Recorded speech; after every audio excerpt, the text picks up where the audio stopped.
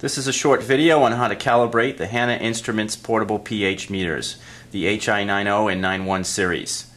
First we're going to turn on our meter and let the LCD completely load into measurement mode. You see it doesn't take very long. What we're then going to do is push the cal button and move into the calibration mode and you'll see it ask us for 7.01 buffer and we put the temperature sensor and the pH electrode into the 7 buffer. Mix it around a little bit to make sure that we're getting any air pockets out of there. Within a few seconds, the meter should calibrate automatically to the 7.01 standard and ask you to confirm that standard.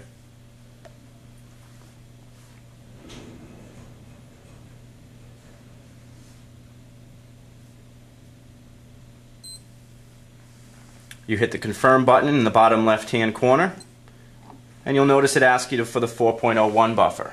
You're going to take your probes, ideally rinse them very quickly in some DI water and then put them in your 4 buffer, again mixing them a little bit to get out any air pockets.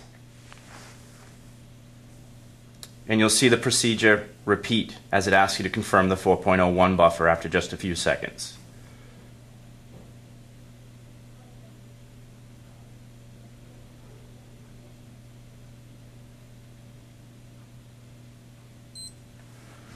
You hit confirm again.